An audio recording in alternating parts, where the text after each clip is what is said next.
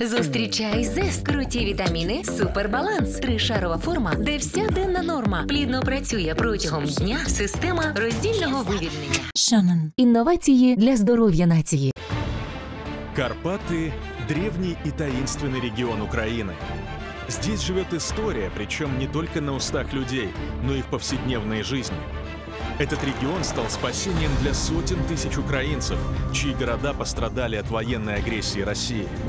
Дмитрий побывал здесь еще до начала полномасштабного вторжения на наши земли, чтобы показать мирную красоту украинских гор и в буквальном смысле прикоснуться к их великому прошлому.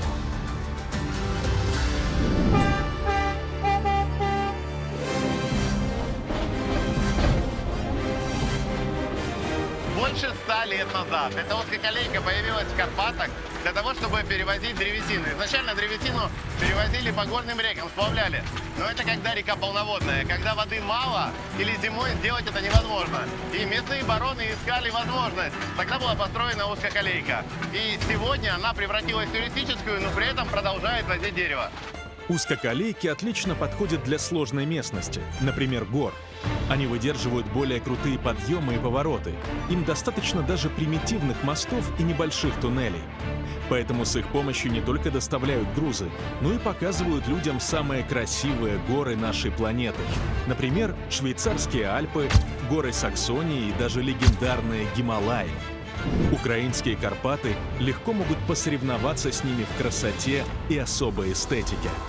Прелесть такой прогулки в том, что ты просто едешь по украинским селам, смотришь, как идет обычная жизнь в таком полукабриолете, то есть открытый вагон и сверху просто крыша, навес. Вот этот дух ретро-поезд, и это настоящий настоящий кайф.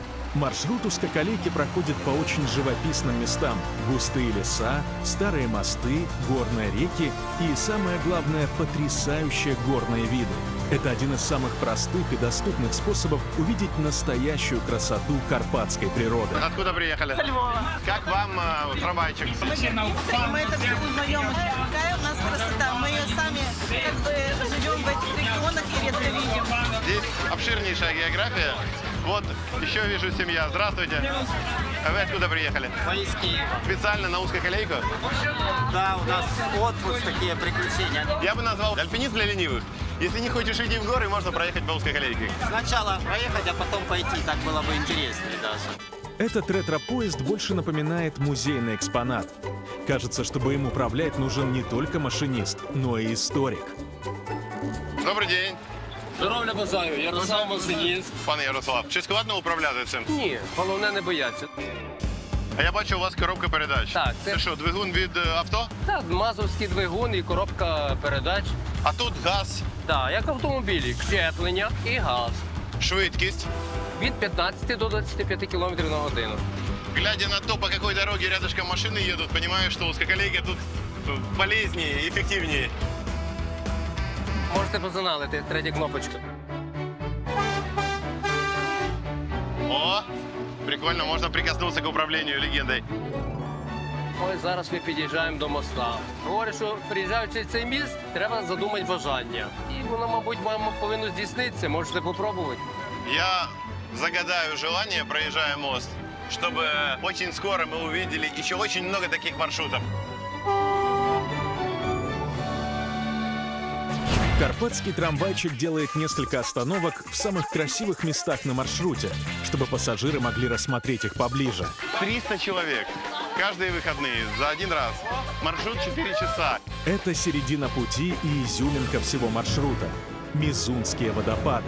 Пороги горной речки и мощные каскады, рядом с которыми можно искупаться, идеальное место в разгар лета. Пока туристы будут фотографироваться возле водопада, мы разворачиваемся и едем обратно. Вот так вот, собственно, проходит маршрут. Развернуть поезд — это вам не в машине руль покрутить. Где угодно это сделать не получится, нужен специальный участок железной дороги. Карпатский трамвайчик едет туда, разворачивается и возвращается за пассажирами. Пока туристов нет в вагонах, Дмитрий не упускает уникальной возможности испытать на себе профессию машиниста ретро-поезда. Командуйте. Ось це що у нас? Ручный газ. Скільки тут передач? П'ять прямих, одна задня. Це гальма. Не, не чіпаємо, ми йдемо на підйом. Якщо зараз скинемо, ми заглохнемо. Нажміть на газ. Так, нажміть, нажміть, нажміть. Вот, друзья, в принципе, управление как автомобилем. Я нажимаю газ, вот есть сцепление, я могу переключить передачу, но мы сейчас уже идем под горку на третий, поэтому я этого не делаю. Идет очень просто, как обычная машина.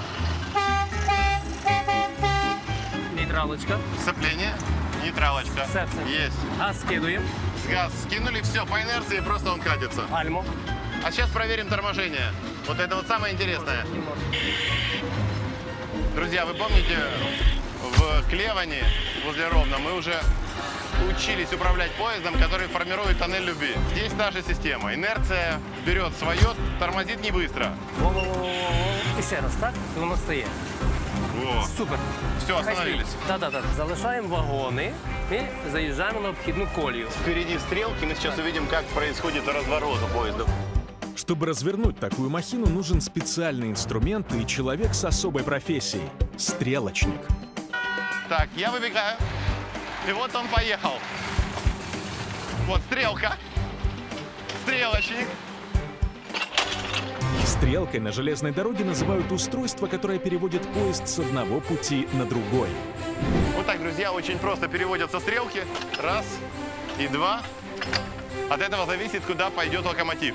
Сейчас локомотив ушел вот туда, в стороночку. И нам нужно прогнать вагоны вот так вот прямо. И тогда локомотив снова пройдет в эту сторону, и мы поедем в обратном направлении. Коля, давай до параду.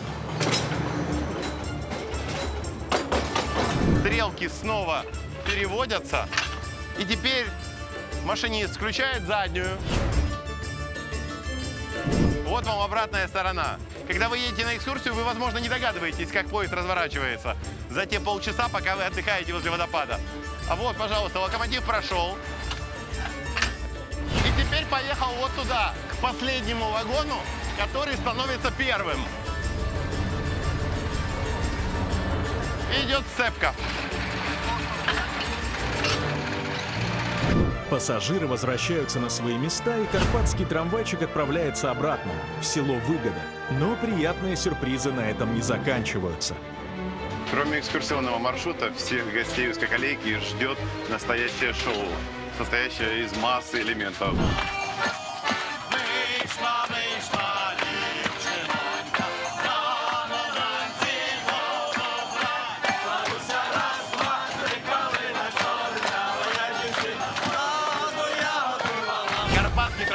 Это незабываемые эмоции. Вспоминают тут и очень важные исторические события.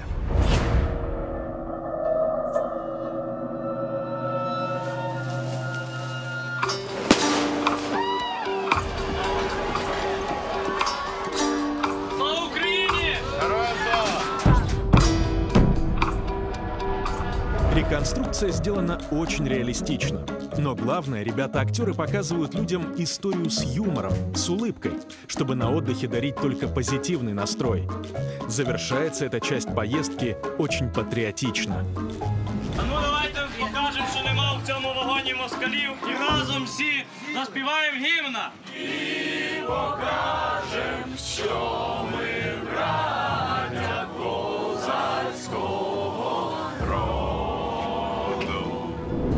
Наследие нашего народа — это не просто традиции и народное творчество.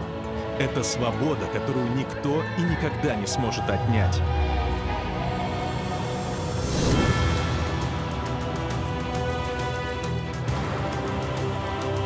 Карпатами просто невозможно насытиться. Они восхитительны весной, летом, зимой, осенью, в любое время года. И говоря про узкоколейку, то зимой вагоны закрыты, они отапливаются, и тоже можно ехать в снегах и получать просто невероятное удовольствие. У нас с вами есть потенциал для того, чтобы стать одной из первых стран в Европе по железнодорожному туризму. Представьте, как было бы здорово, если бы Верховина, Буковель и озеро Синевир были связаны узкоколейками. Можно было бы не просто перемещаться по дороге от одной туристической точки к другой, а получать удовольствие от самого процесса перемещения, от такого уникального транспорта. Я очень надеюсь, что очень скоро мы увидим много новых узкоколеек, которые будут радовать украинцев. Люди в Карпатах очень трепетно относятся к своей истории. Они особенно ценят и сохраняют то, что делали их предки. Чудеса техники, одежду, украшения и, самое главное, древние священные ритуалы.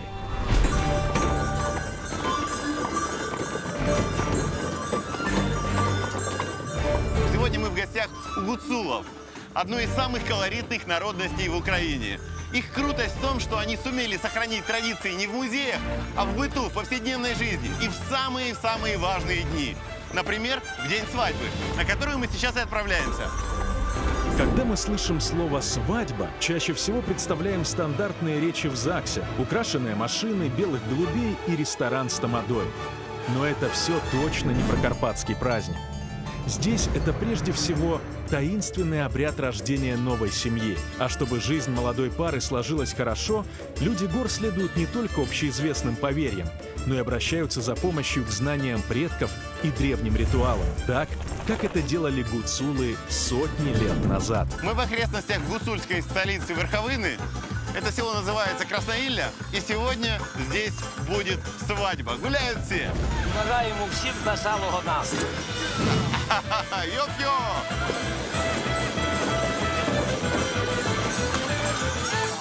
Вот мы приехали к дому невесты. Дякую. Дякую вам. Ще побачимося. Тут на свадьбу придут все. Дмитрий приехал заранее, чтобы не пропустить самую интересную часть – подготовку невесты. А, как символ, естественно, сидит кот. Котик здесь у гуцулов – это магическое животное. Он охранник дома, он предвестник счастья.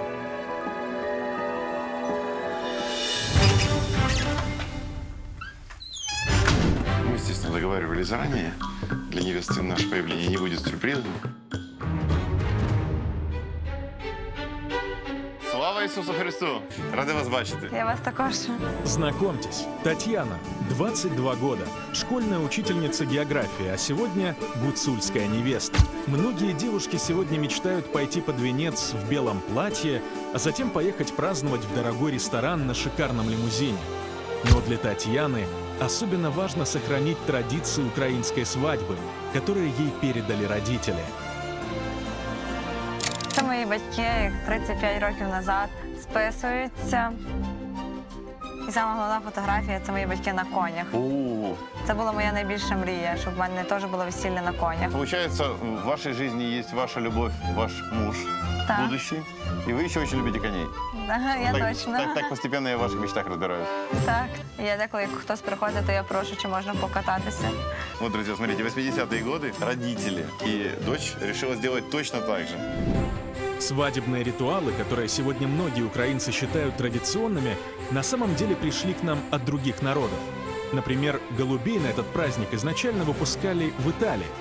Свадебный букет был еще в Древней Греции, а белое платье вообще стало популярным только после свадьбы королевы Виктории. До этого многие невесты предпочитали красный цвет. Украинской культуре тысячи лет. Все это время наши собственные ритуалы бережно хранились и передавались из поколения в поколение. Как же выглядит традиционная украинская свадьба, сейчас узнаем. У білому платі можна як просто пофотографуватися, а чільця вплетають тільки раз у моєму житті, і це тільки на весілля. Це можуть мені вплести, те, що в мене зараз на голові. Свадебное чельце, или так называемый венок, особый головной убор невесты, который используют еще со времен Киевской Руси. Это самая важная часть ее наряда. Он состоит из множества мелких деталей, каждая со своим значением. Всю эту красоту не просто надевают на голову, а вплетают в волосы молодой. Это отдельный ритуал, за который отвечает особый мастер.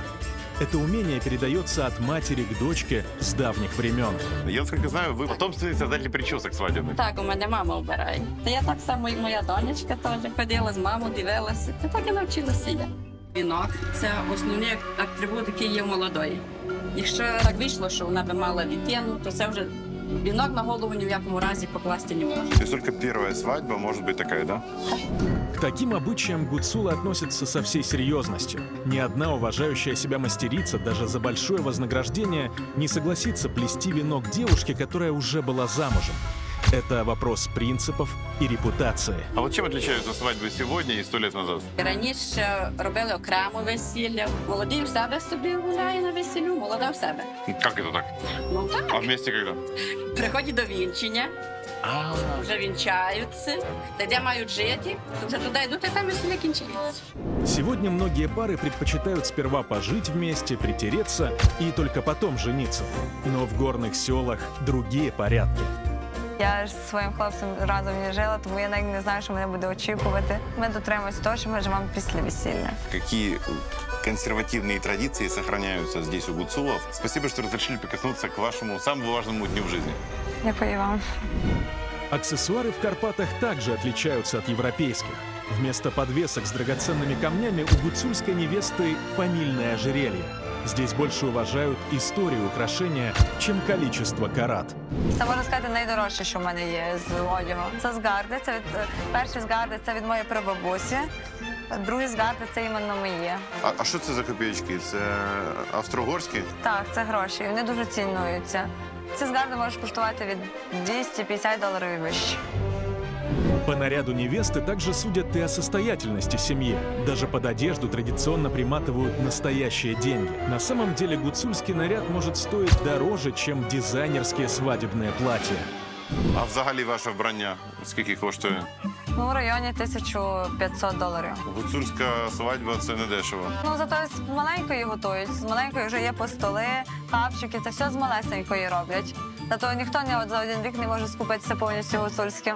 Тобто все життя Так. дівчина готується до весілля, так? Це все вірно. Так, десь з 10 років точно.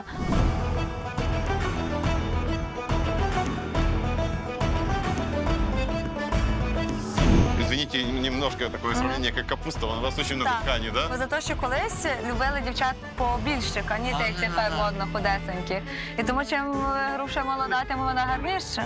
І зато якраз іменно дають хустки. То якщо молода дуже з багатої сім'ї, вона могла собі дозволити і 5, і 6, могла і 7 хусток. Це свідчить про з Багатство. якої сім'ї молода. Так.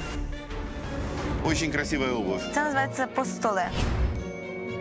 А вот эти вот Це все обирається носочки ручною. такі.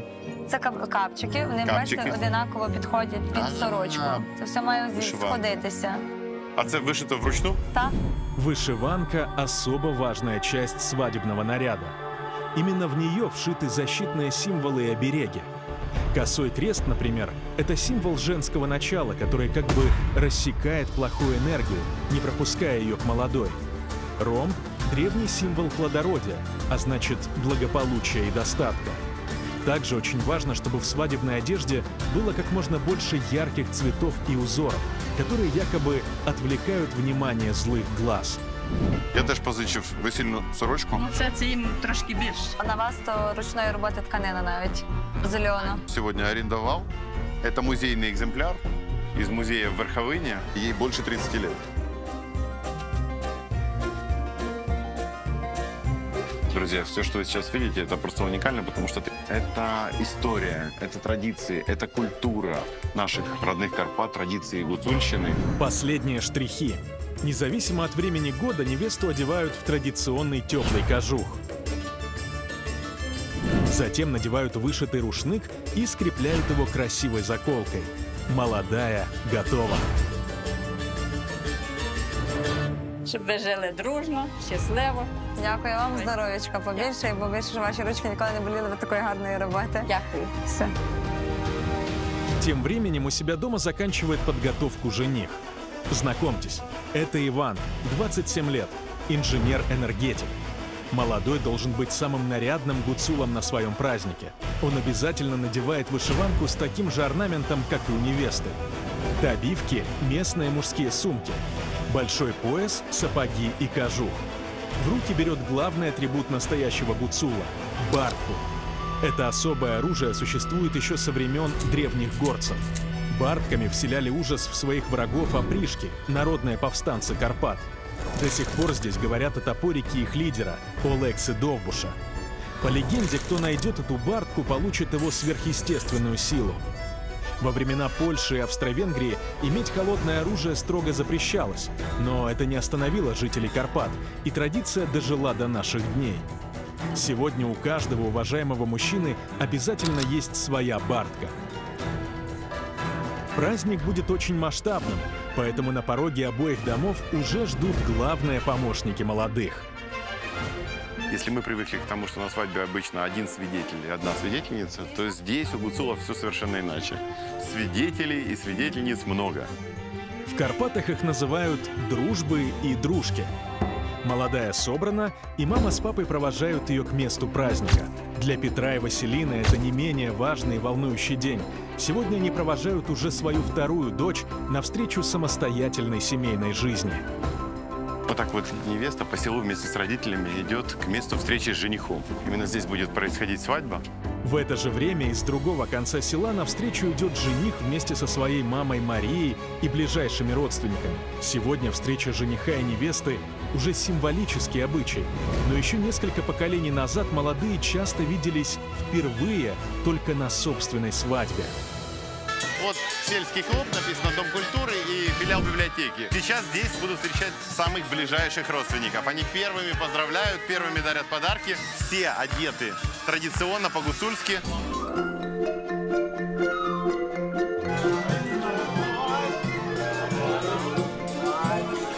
Еще такая особенность гуцульских свадеб, что обязательно молодые и гости целуются. Сегодня будут сотни, сотни, сотни поцелуев, потому что поцеловаться нужно абсолютно с каждым.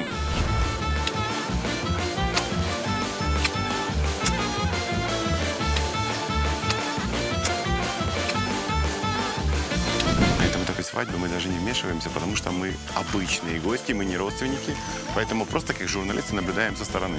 Уже как гости мы сможем прийти в другой момент. Сейчас традиции не позволяют нам подходить, что-то дарить, целоваться, потому что это гуцульская свадьба. И здесь можно делать только так, как делалось столетиями. Главная традиция остается неизменной – праздновать пышно и массово. Места для гостей полностью заняли самый большой зал во всем селе. Главный стол для молодых и ближайших родственников поставили на сцене, а танцпол, или, как здесь говорят, танцовню, вообще оборудовали в отдельном здании. В гуцульских семьях детей много, поэтому, соответственно, родственников невероятно много. Вот еще целая делегация подходит. Тем временем за праздничным столом свидетели украшают две сосны, или, как говорят гуцулы, деревца. Они символизируют молодых. Этот ритуал сохраняется со времен древних славян, которые поклонялись силам природы. Так к паре привлекают плодородие и достаток. После этого все идут за так называемый первый стол. Сейчас происходит самое важное событие в жизни родителей – благословение детей на семейную жизнь. Они вяжут молодым на руки небольшие повязки и надевают особые головные уборы.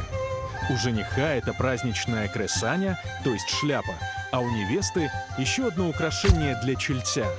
Этот обряд здесь называют «поставить венок на голову».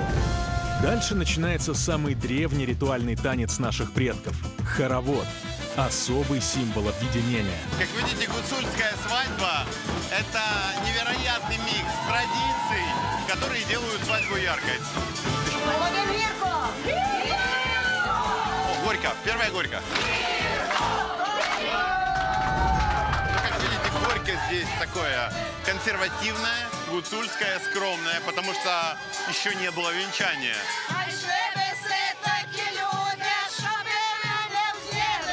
Вот молодые выходят и отправляются в храм. И самое интересное, что делают это не на машине, как сегодня большинство семей, а вот так вот, на лошадях традиционно. Так сегодня не делает практически никто. Гуцульский кортеж, как и полагается, украшен цветными ленточками, а вместо гудков клаксона более приятные колокольчики. Смотрите, как трогательно.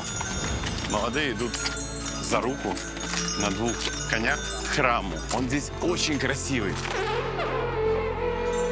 Какая атмосфера, какой дух Карпат. И свадьба подобной и равной, которой вы не увидите больше нигде в мире.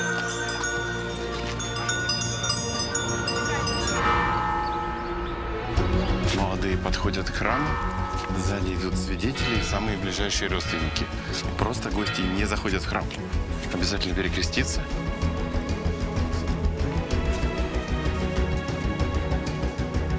Слава Ісусу Христу! Навіки слава Богу. Прошу, заходимо ближче. В больших городах свадьбу обычно начинают в ЗАГСе, и не все хотят еще и венчаться в храме. Но гуцулы – очень верующий народ. И клятва перед Богом для них намного важнее штампа в паспорте. Я Іван, беру Тетяну за жінку. Я Тетяна. Беру тебе, Іване, за чоловіка. Обіцяю тобі любов, вірність, чесність, послуг подружній. І ще не залишу тебе аж до смерті. Так поможи мені, Боже. Єдині і всі святіть. Що Бог з'єднав, чоловік нехай не розлучає на віки віків. Вам поцілуй. Таня, цілуй. Только после этого момента молодые получают новый статус мужа и жены. Славу і честю. Каждый шаг, каждое движение, каждый элемент этой свадьбы завораживает. Это древняя история Украины, которая дошла до наших дней. У гуцулов свадьба по традициям предков никогда не выйдет из моды. Здесь всегда в тренде знать и хранить свою историю. И этому в Карпатах стоит поучиться. Карпати дуже великі, дуже багато народів в Карпатах живе. Але тільки гуцули так зберегли. Ось чому саме гуцули? Тому що це в нас, у наших генах, оце є наше українське, що ні, нас ніхто це не забере. Оце це, і коріння. Чи обрати головний убір, чи взяти руку топірець. Ти змінюєшся в той час. Ти відчуваєш себе от е, тим опришком. Тим так воїном, захисником, знаєте, і так само саме весілля, коли одягаються у ці гусульські одежі, вони люди згадують о, о тих дідів прадів, і це дуже важливо, щоб ми, українці, пам'ятали про наше коріння. Теперь, когда официальная часть позади, можно начинать уже народный зажигательный праздник. И самая-самая важная, яркая, экспрессивная и интересная часть всех гуляний. Сейчас, поверьте, будет жара.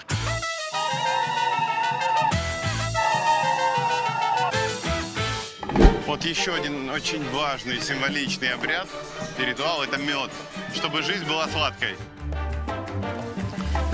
Що це ви робите таке? Перев'язуємо подяку батькам, що вони в мене були. Хресні батьки. Як вас звати? Василь. І це е, означає, що все, ви Так, все, більше вже не мій крестна шлях свадьба. закінчений. Так, так, так. Вот так, друзья, такая традиция. То есть крестные родители после свадьбы уже перестают быть крестными родителями, потому что молодые ведут самостоятельную жизнь.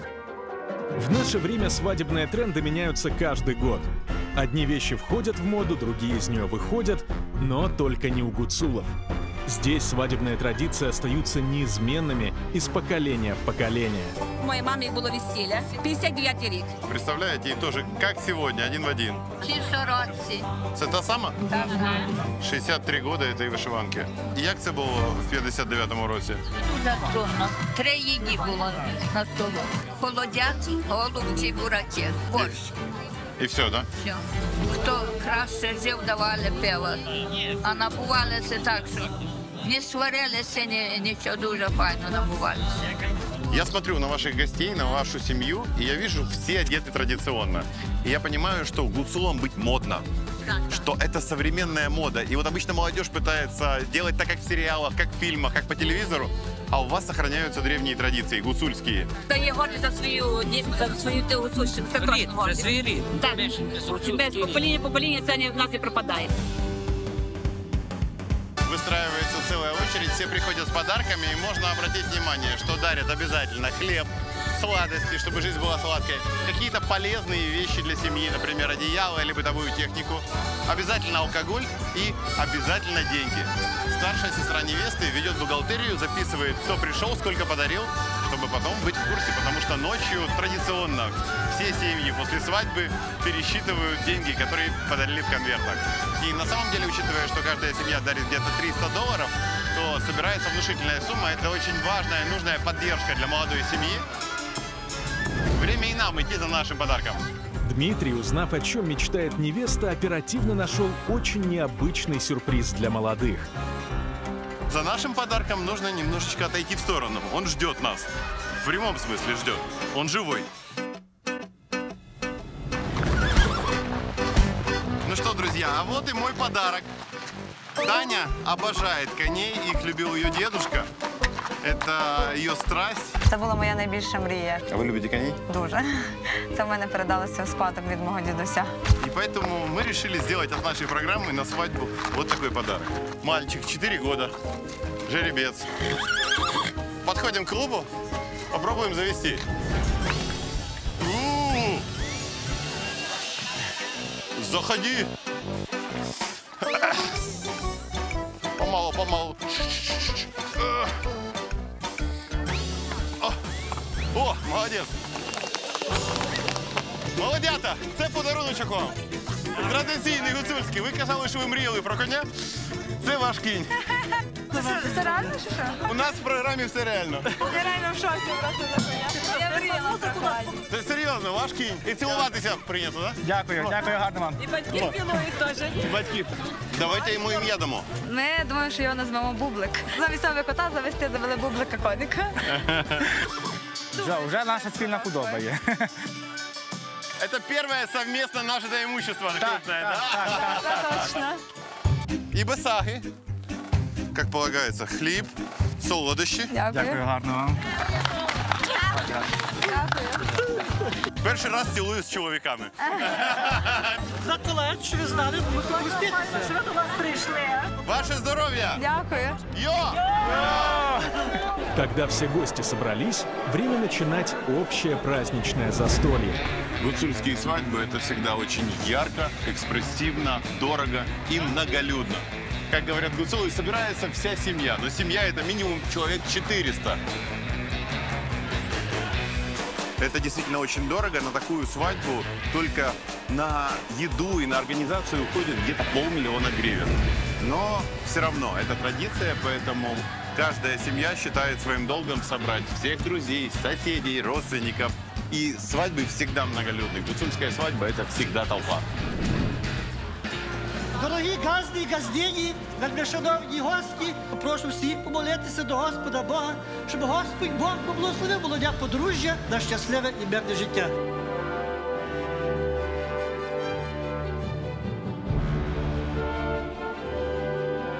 Гуцулы очень верующие люди, поэтому обязательно любое важное событие в жизни начинается с молитвы.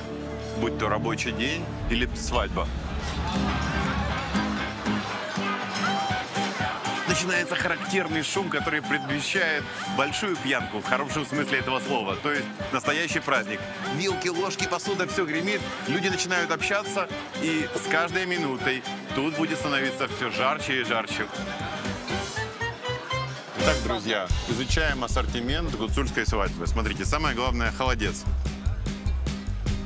Конечно же, к холодцу хрен. Голубцы гуцульские, такие маленькие, очень вкусные Картошечка домашняя, мясная нарезка. М'ясні страви це наші домашні страви. Тобто ми, є- я, наприклад, їх і на куху ростив, готували ми це всі свині, телята, це все є домашнє. А от е, горілка три роки назад закуплена. Це не все зараз. Є така, що і сильно. Так. Вы представляете, то есть даже водку и спиртные напитки готовят годами. Потому что не просто подготовиться к такой свадьбе.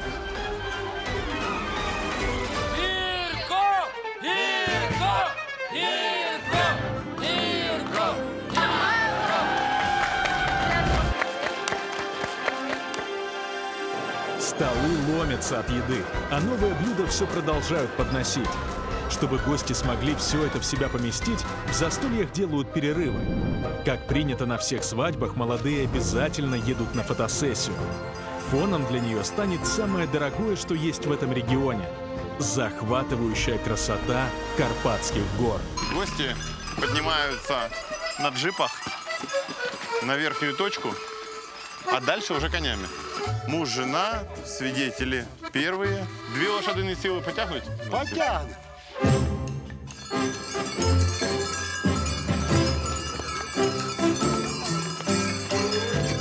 Это вам не фотосессия на лимузине, это круче. Это фотосессия по-гуцульски.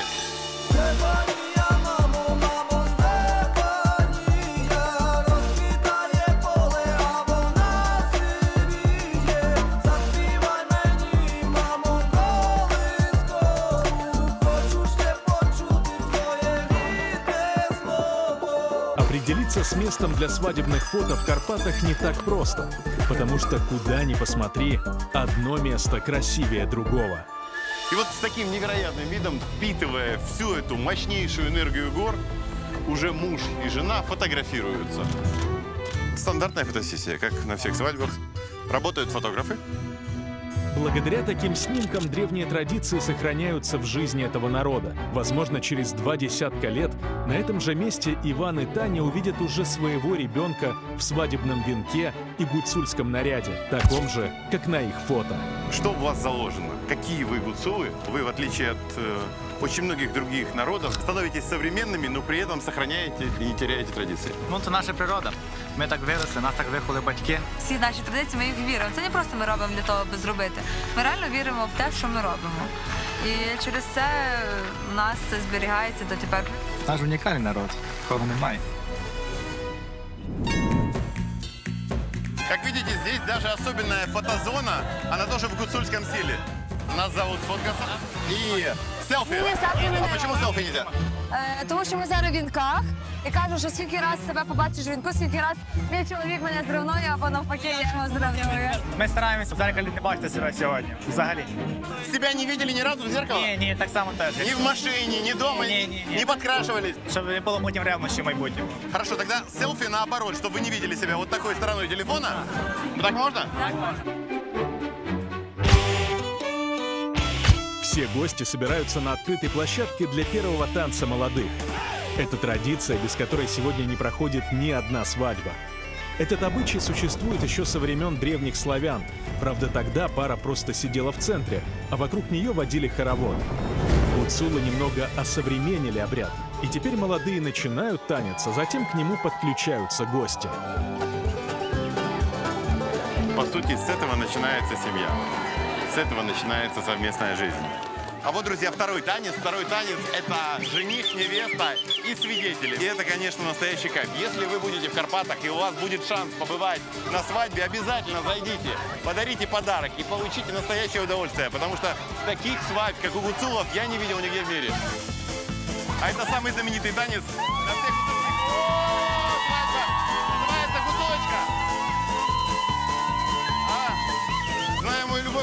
для меня это самый лучший танец. Можно просто переставлять ноги и говорить о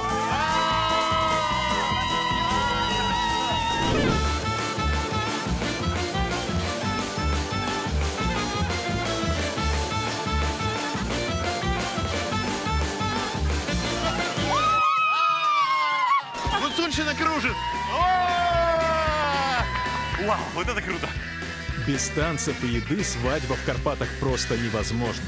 А еда здесь буквально везде. И такие блюда вы не найдете ни в одном модном ресторане. Зона кеттеринга здесь тоже традиционная, гуцульская. Смотрите, все натуральное дерево и блюда особенные. Пошли посмотрим. Смотрите, сосисочки, наливочки, погодзівка. Це з чого робиться погодзівка? Лагодзу. Це Жо- такі ягоди ростуть на полоні. Афинитка, настоянка. Все настойки здесь в основном из ягод и трав, которые собрали на полонинах. Фуйковое вино. Какие колбаски. Класс, очень круто. В общем, друзья, как вы поняли, если вы попадаете на свадьбу гуцулом, то это гастрономический рай. Потому что такие блюда домашние, натуральные, без химии, можно найти только здесь. С каждым часом праздник набирает обороты. Люди гуляют, танцуют, общаются и веселятся. Кураж длится всю ночь. А ближе к утру происходит самый драматичный момент. Молодая прощается с девичьей жизнью. У украинцев с древних времен коса была главным символом привлекательности девушки. В народе говорят «какая коса, такая и краса». После свадьбы выходить в люди с распущенными волосами строго запрещалось, а в некоторых регионах длинную косу даже обрезали прямо на свадьбе.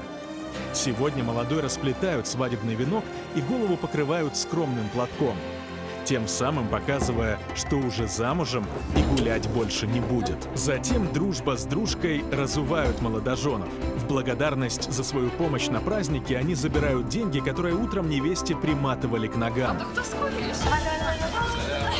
Заканчивается праздник танцем незамужних девушек и неженатых парней, чтобы привлечь к ним удачу на скорую свадьбу. Затем символическое деревце уносят домой к молодым, А!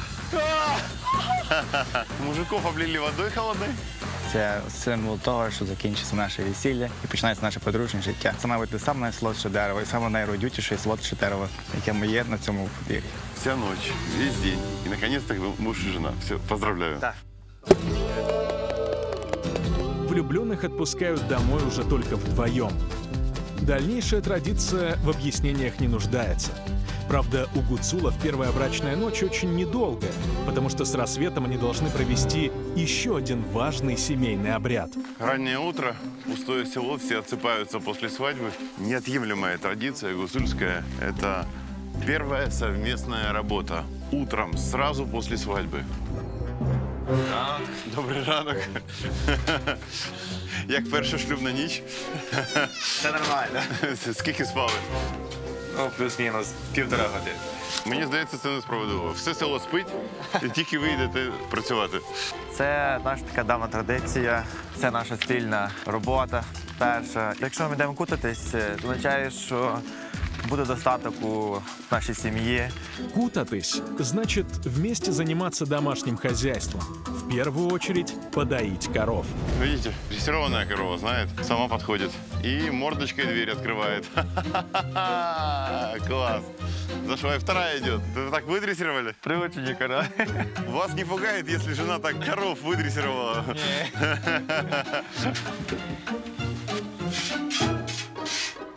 Первое утро. После брачной ночи, которой не было. Не встигли. К счастью, у молодых еще вся жизнь впереди, так что успеют наверстать. Ми щасливі, що ми все одно всі традиції е, виконали, які в нас мають бути. Дуже розумію, що батьки мої щасливі, що мене одружили, дуже щасливі. Бачу, вони щаслива, що я вже тепер маю свою теж сім'ю. Уже бути не самі, це вже щастя, я вам скажу. Правда? Які плани на майбутнє і мрії найзаповітніші? Кожного року бувати хоча б по двох країнах, і тако собі на карті накладати там, де ми були, так з дитянкою собі. І хочу так об'їхати цілий світ. Ну, несмотря на мечты о путешествиях по всей планете, мечтаете ли ви всю жизнь провести в Карпатах, доить корову любимую, жить в горах? Карпати це як серце Європи. І тут наша частинка, тут ми народилися, тут е, наша доля. Е, навіть якщо б їхав, поїхав в місто, то я себе б не почував так комфортно, як у Карпатах. Я так понимаю, у вас работы еще много на сегодня, Так, так что мы не мешаем дальше. Дуже дякую, що ви з нами розділили наш день. Ми вам теж дуже дякуємо за те, що запросили. Гуцульське весілля це щось неймовірне. До побачення. Этот праздник был снят в прошлом году, и уже скоро карпатским мужчинам пришлось взять в руки не только традиционную бартку, но и другое оружие, чтобы в очередной раз защитить нашу страну и культуру. Но даже война не стала преградой для влюбленных по всей Украине. І оголошую вас чоловіком та дружиною. Десятки тысяч пар стали семьями, часто идя под венец не в белом платье и даже не в гуцульском наряде, а в военной форме. У мене, на жаль, немає зараз обручки для тебе, але є кільце від гранати. Я хочу, щоб ти стала моєю дружиною. Виходь за мене. К сожалению, не все истории имеют счастливый финал. Известный украинский журналист Александр Махов, который делает предложение своей любимой на этом видео, погиб под обстрелами российских оккупантов. Защитники Мариуполя Андрей и Валерия стали мужем и женой в подземельях Азовстали. Они успели побыть семьей всего три дня. Андрей погиб от российского авиаудара. Война отнимает самое дорогое. В темные времена мы особенно ясно чувствуем, кого по-настоящему любим и кому хотим навсегда отдать руку и сердце. Говорят, кто не знает своего прошлого, у того нет будущего. История украинского народа — это защита своей культуры, земли, наследия, своей самоидентичности. Благодаря героям прошлого мы получили независимость и выбрали свое право быть единым народом. Карпаты — невероятный пример того, как бережно следует относиться к своим традициям. В быту, одежде, языке, технике и в самые важные дни своей жизни — это в прямом смысле пот и кровь наших предков, благодаря которым каждый из нас может гордиться тем, что он украинец. Смотрите в следующей программе. такое себе точно не представлял. УЗИ делают рыбе. Дмитрий покажет легендарный символ роскоши, Это цифра в долларах США. который рождается в наших реках. Упадет сейчас. В Украине икру добывают тоннами. Я думаю, не все наши олигархи так себе позволяют. А также поднимется в небо на украинском чуде авиации. Маневр, боевой разворот. Мы набрали высоту, пошли вниз вот с таким набором. И раз, раз, раз, раз, раз, раз, раз. Чтобы испытать на себе самый удивительный способ путешествовать. Три часа и выводить. Это полет такой экстремальный. И проверить, действительно ли этот аппарат не способен упасть. Страшно! Мотор не работает!